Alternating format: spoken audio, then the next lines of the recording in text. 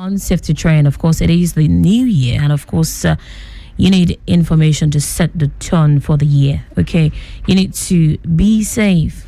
Of course, uh, we know that only the living can celebrate. Up next is safety train with Fire Williams. Hello, hello, hello, Lagos, and happy, happy new year. This is the first episode of Safety Train in 2023. I remain yours sincerely, Fire Williams, the safety Amazon, and it is such a big pleasure to be back with you on the Safety Train. Ready to start the year with a bang, and we will be looking at reflections of 2022. Call for deliberate safety practices. And I have with me none other than a brother in safety, the consultant, safety, an HSE consultant with CODA Safety Consult, a health and safety solution provider. His name is Waliu Adegoke. Hello, Waliu. Hello, ma. Good afternoon. How are you doing today? I'm doing great. Now, you need to greet my listeners, and we like you to start with your own lingua franca. You have to rep your people so that they will hear you wherever they are, wherever you come from. They will not say, ah, that person is my person over there. so go right ahead. Okay, ọmọ Yorùbá lè mí o. Ah. Ẹ káàsán onílé o nílé lóko orúkọ tèmi ni Wàlíù Adégòkè ṣé dáadáa lẹ bá yín ṣé dáadáa lẹ wà ṣé ẹ make sure wípé àwọn oníṣòwò Yorùbá Ah, you have done a mulu mala. You know the man has done the people he has Lagosized the, the the lingua franca. But we forgive him. We can forgive him for today. So we are going to go straight into the topic of the day. Um, Waliu, what were the major challenges in safety in Lagos and Nigeria at large in the year 2022? Let's do a flashback. Oh yeah, uh, there are a lot of challenges actually, and um, when you look at the issue of safety, it's uh, it's still at the early stage in this part of the world, and part of the major challenges we have is uh, deliberate negligence. When we talk about negligence, we're talking about on the side of individuals. We're starting from the individuals now. There's this negligence of uh, that is attached to uh, number one, it's attached to, to spirituality. You know, we believe that uh, what whatever will happen we want to happen. When you tell people to take safety control, safety measures, they will tell you, "Sh- are, are you planning for something bad to happen? Do you want something bad to happen? Meanwhile, God has given us the ability to think and to reason and to make sure that we deliberately make sure we are safe. So negligence is one of those challenges that we have in uh, in in Nigeria at large. Another one is a low level of enforcement monitoring. What do I mean? Yes, we have enforcement agencies everywhere, but monitoring those enforcement agencies to make sure that what they are being told to enforce is actually what they are enforcing in the right way and at it has been designed. It's also one of those challenges we are having. Then absence of active structure to address safety issues nationally. You know, for example, in Lagos State we have a Lagos State Safety Commission. Yeah, we are and they are doing a very good job. Mm-hmm. Yeah, and at national level, I believe that safety as a ministry is should safety should to be separate. Mm-hmm. Yeah, and as a ministry to be to attend to safety issues. Just same So way we have. the Federal Ministry of Labor Uh, and yeah. Employment. You don't think um, it's okay just to have maybe factory department or something? Are you recommending that um, there should be Ministry of Safety in each state? Yeah, definitely yes. Capital letter yes. I, I believe that that will uh, make it easier for us to address safety issues directly. Yes, Ministry of Labour and Employment are doing their best, but it's not enough. Yeah, we have Department of Health and Safety uh, under Ministry of Labour and Employment, but that is not enough. We need to have safety issues is becoming it's it, on, I don't I don't know how to put it. It it increases um, as as the day goes on. We have serious safety issues that are not being addressed, and they keep repeating themselves.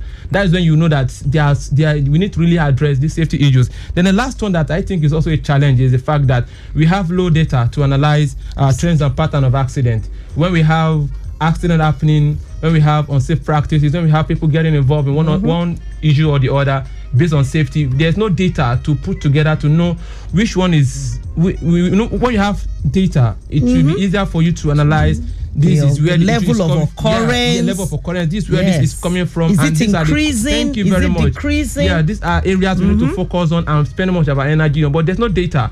And mm. if, I believe that if you have a separate ministry at national level, just as we have it in Lagos Safety Commission, mm-hmm. it will the, the, the, the focus will be mainly on safety, and that will address a lot of safety issues. So this further I've analyzed uh, is just a little of those uh, Um, major challenges, that we have.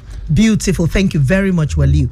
Now, Waliu, you see, we, we, we keep on talking about road safety, you know, um, as if that's really the only mode of transportation. But Lagos Traffic Radio prides itself in looking at the road, the rail, the waterways, even air, you know, traveling by air, safety. So we've had issues with rail safety in the course of 2022 you know um, quite recently very unfortunately we had the lady who was trying to drive over uh, a rail and somehow her car got stuck and i'm just looking at this against the backdrop of the um, flagging off you know done in lagos state of one of the um, uh, is it the Blue- blue line? Blue line. Yes, the blue line. The you know, and um, I, I want you to advise Lagosians because I think the rails we have now, you know, which have this electromagnetic uh, force around it, is quite different from the kind of rail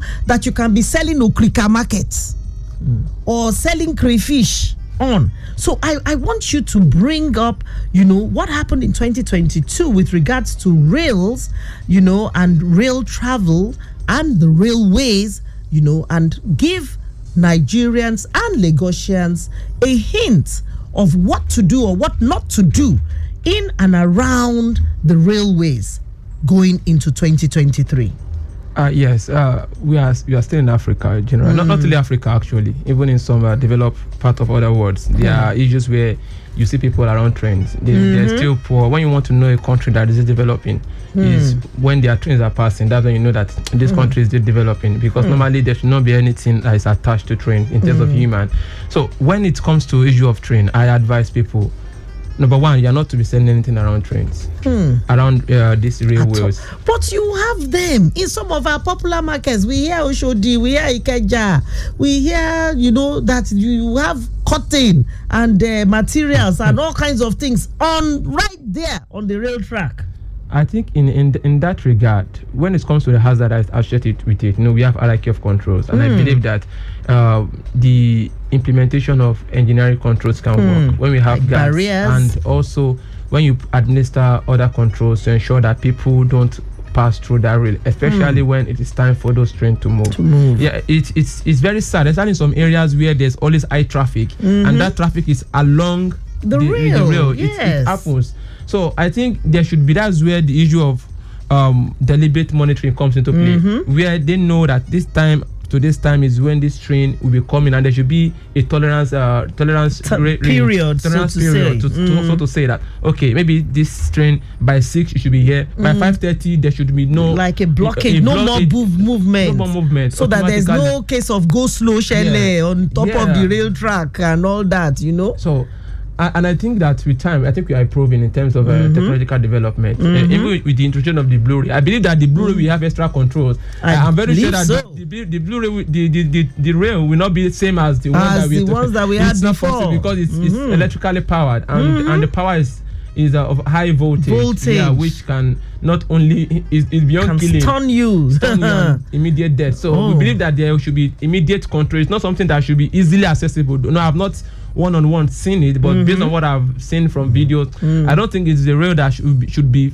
that will be available accessible, to, easy- human to beings. human being. Except you are inside the coach. Or you want to commit suicide. Oh no no no no! And we are I- not going to allow that. which is part of what we need to discuss because some people can be very some people can you know people have many things going people, people can go have a through whole lot going on. yeah mental well-being is also part of safety you know when people can deliberately go to to uh, Third mainland. third mainland to so to do the act. it means that there needs to be extra supervision Sean, to ensure that people don't use it as a means to, to want commit to to commit suicide. Thank you very much. So you, I'm going to ask you to hold your thoughts as we are going to have a traffic update. Thank you very much for staying tuned to the safety train. So we will go on by asking Waliu Adegoke, our HSE consultant in the house, some more questions. So, in the last one year, has there been improvement in public safety and its deliberate practice? Do you see us, you know, coming out with strongly worded policy statements on public safety? Have you seen that in the past one year? Um, let me start by asking these rhetorical questions. Do we have more fires in the last one year? Do we have more uh, home accident in the last one year? We have stories of uh, kids getting involved in various accidents at home based on poor supervision. Do we have lesser or more car accident in the last one year? Yes, the government is, is playing a good role. Like for example, there was this memo that was passed by the federal government to to uh, to all federal government That is right. yeah, to ensure that there is a, A sa- safety officer yeah, or safety something. officer, at least safety officer or then as time goes on safety department that should address safety issues it means that the government is seeing insight about about safety But if we look in the 2023 budget, I hope there is provision, oh, because safety officer is not going to be taking ofurufu, oh, you know, the man is going to be eating gari and ekpa, you know. even so, that is part of the issue because we, we're still going to talk about that because, Uh-huh. because when we are talking about safety practice Mm-hmm. there's what, what we call intrinsic motivation there Mm. are things that should motivate people to want to do more this this, practice of peanut uh peanut salaries being, being given to. To safety officers. professionals it, it needs to be addressed it needs to be Hmm. addressed for us to have a, a better safety culture because it takes a lot of things coming together to become a safety professional people True. don't know about it True. you know things are uh, at, the, at, the, at the end of the day you will see people saying they want to pay 70 100 150 even 70 100 to safety professionals after years of experience you know and these are the these, these are the areas that's why you see a lot of people leaving the country practicing safety outside the Outside country the country. yeah because they, they, they, they, they, they think more they are not yeah. well motivated. Yeah, the value is not people. It's like they don't see their value, and we are actually invaluable because we are yes. trying to. Yeah, we are trying to Trying to prevent. Prevent loss of life and loss of property Yeah, as because- well. Yeah, exactly. So we we, we, we are You help to maintain the um, reputation of the organization and so many things so we, are, many we, are, things. we, are, we are doing. So uh, in terms of improvement, uh, th- there are some improvement, but Hmm. in terms of enforcement monitoring, that's where the problem is. For example, there's this uh, extended producer responsibility by NESREA, which was Oh, yes. also a good step, t- telling uh, manufacturers that all your waste, all your All the- those the end cans, all those cans, the them off pet the road. bottles and everything. So they have yeah, responsibility, they, right? have, they have a responsibility. So Throughout the life cycle of that product. Exactly, throughout the life cycle. Yeah, they have a responsibility. Now, are they monitoring the enforcement of that of that? And even with as individuals also, are we helping the situation? Used to as individuals, how do you manage your waste? Do they you drop it in the gutter. that is That's the problem. And at the end of the day, they don't know the resultant effect. Now let me analyze it for us. When you have when you drop that single bottle, of Bottle. water, another person drops that single bottle of water. We all drop that single bottle of water. All our pack, all those uh, package, all those um, Mm, yeah, the, the, all, the- those polyethylene and yeah, sure. We, polystyrene we bottles. drop it on, on Mhm. in gutter. It blocks the drainages, and when it blocks the drainages, what happens? The water, will do flow on the road. flow on and, and damage the road. Ah. And then we'll be entering pothole. Buy new Yeah. shock absorber. Yeah, You know? exactly. Oh, so, believe. so at the end of the day, even in our homes, we have over even in Lagos or Nigeria at large, we have issue of you know we have climate issue. Oh, which- which yes, is also part climate of safety. you know. everywhere. Mm. there's flooding everywhere, and these are the little things that contribute to it. So you as an individual, you think that single pet bottle is just one pet bottle. It is Mm. not because one million persons doing the same thing is one million pet bottle. In, our, Mm-hmm. In- in the- in the drain. So at the end of the day, even we, we, are, we are talking about mosquitoes. We are talking about all these things. By the time you have stagnant water in your gutters at, in, in your street, you have mosquitoes. You can't win at all. Millions of millions of people, thousands of people are dying of malaria, Mm-hmm. and millions. We spend millions on treating malaria. At least to treat malaria now, at least you have to have five thousand. You, have- you at least you Mm. At have to have five thousand. that's true. And you start with the test. Yeah, th- you start with the test. So at the end of the day, you are spending more for what? For not doing a single Same preventive little thing So let's try to, to manage our waste. So it's, it's it's part of those issues. At the end of the day, those water they go to the road, they damage the road, the road get bad, we mm. have accidents.